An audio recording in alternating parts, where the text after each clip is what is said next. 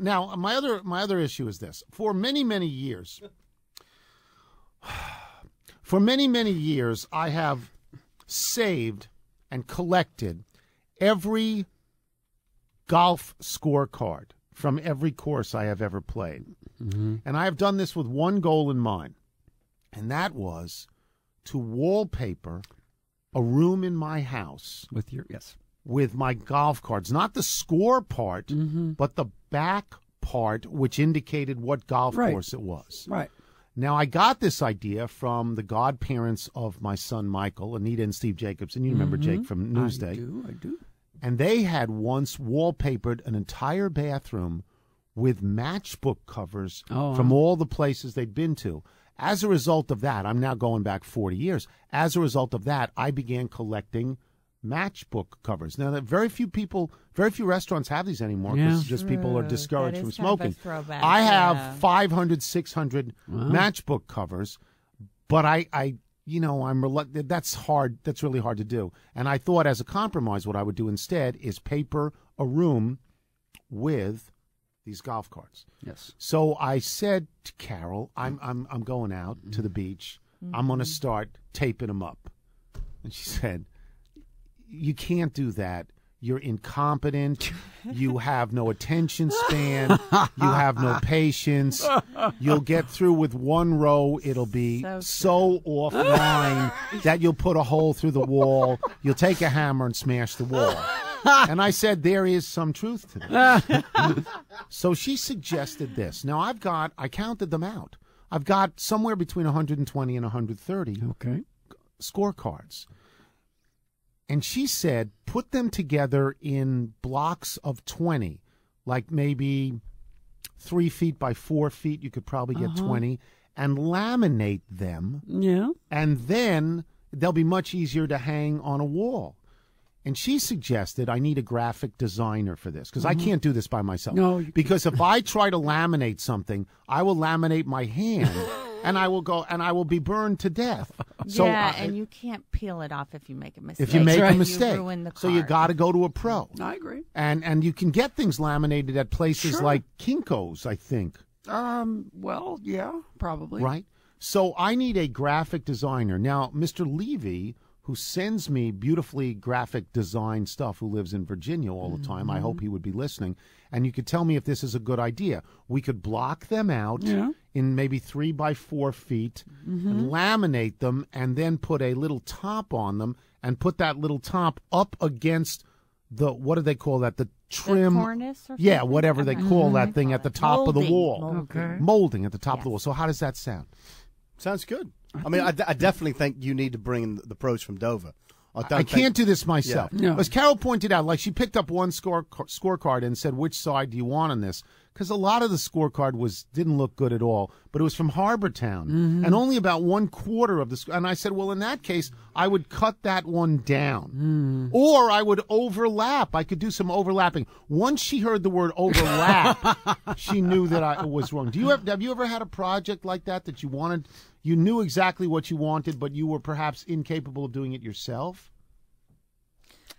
Um, I am quite sure. I I'm just having reservations about the the the artistic vision here. I you know not not so much the execution. I are you sure you want to do this? I mean, the, I mean, my Sounds own- like okay. my wife.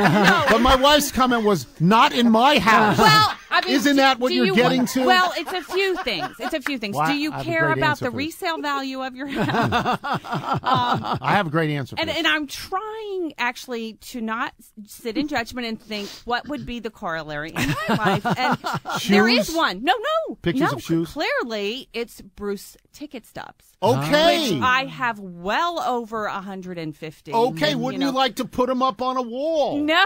No? that's where Guys, that's where we you'd wanna do that. This is a guy I, thing. I I treasure hats. these, I do and they are like a record of my whole youth, my happiness, my right. adventures, my misadventures. They're all there. But I like them in a book.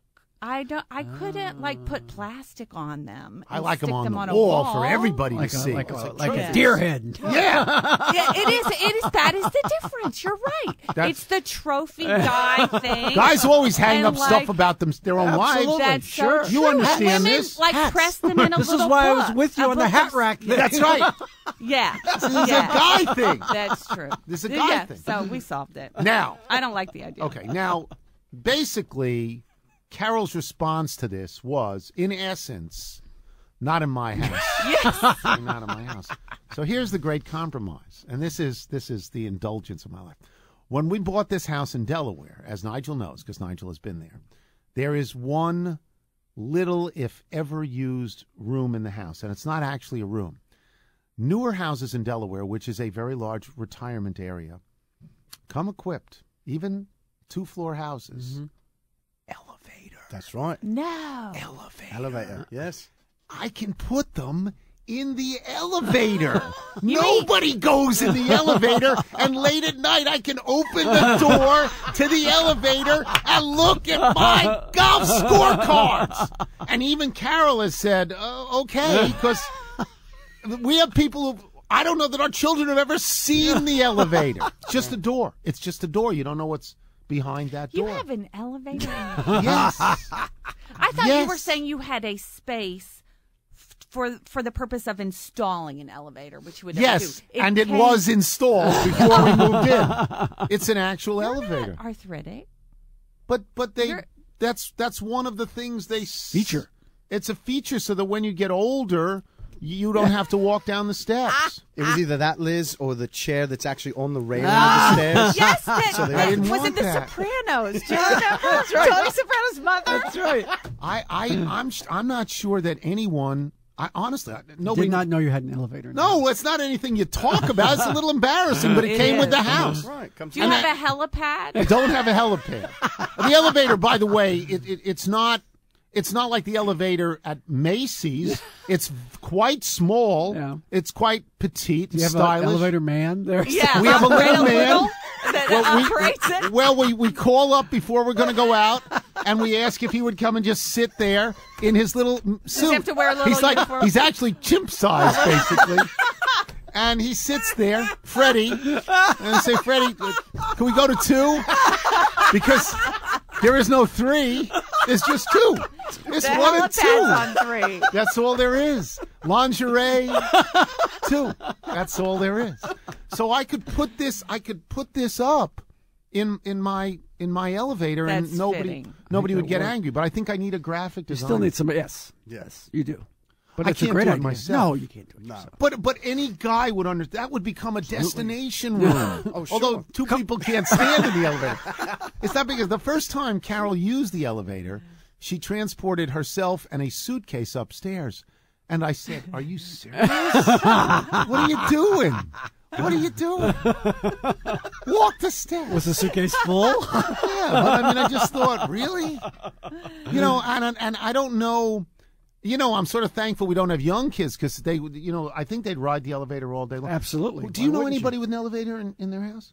No. I think some of the old Georgetown houses have Yes, them. that they do. I think the Georgetown houses, Yes, houses have do. them. Some of those Georgetown houses are incredibly steep, Yeah. and they have elevators. So anyway, I should do this. Yes. I've got an escalator in my house. How great is that? it's always breaking down. Yeah, it is. when are we getting new copy, Nigel? Yeah, I know. I When are we getting new copy? I got caught up in the game last night. Now I should say that in the ele- the elevator is a small, dark elevator shaft. There's no windows.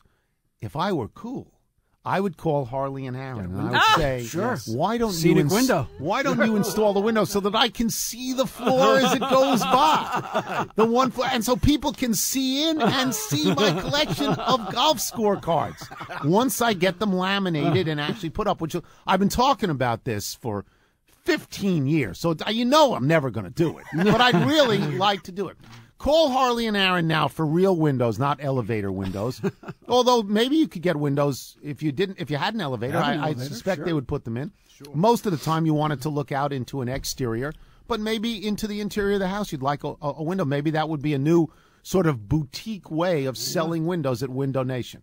Call Harley and Aaron. Tell them you want windows. It's getting cold, boys and girls. It's terrible day By tonight, it's going to be in the 30s. It's not not going to be 65 anymore, like it was early this morning. Here comes Tony's mailbag. Got your email faxes and your notes.